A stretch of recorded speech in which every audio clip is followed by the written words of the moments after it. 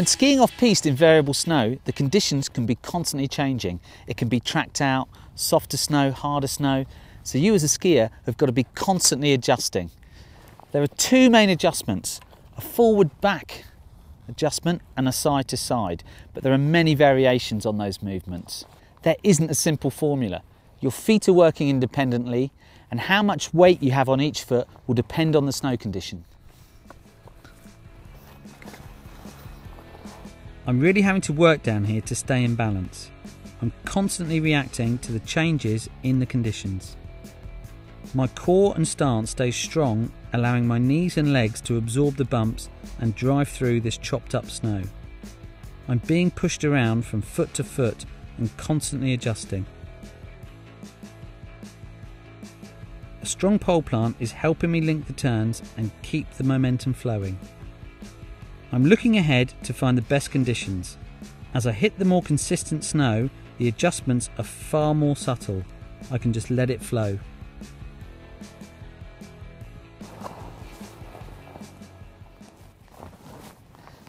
You get a vast amount of information through your feet and legs when you're skiing. With a good stance, you can use this information, react accordingly and stay in balance.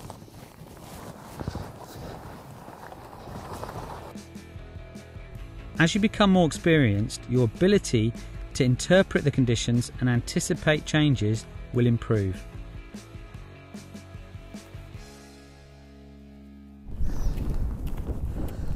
You can see this slope here, it's had a huge amount of wind. These marks here, called Sastrugi, tells the story of wind passing across. It's also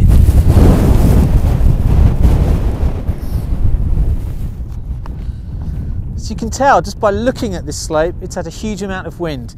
These marks here called sastrugi telling me that the wind's been coming across fast and that also creates a bit of a crust which is going to give you a lot more resistance as you're coming through the snow. So speed is really going to help and very smooth gradual movements. The body position is key, the hands in front and don't forget that progressive pole is going to help you drive through and keep your body in a good strong position. Let's give it a go.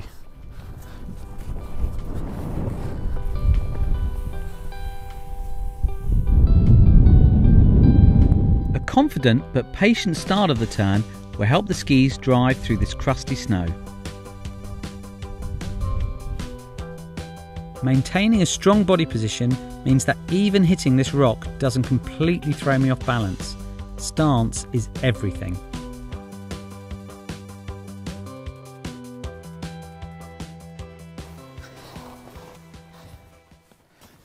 Skiing variable snow is really exciting. It's always changing.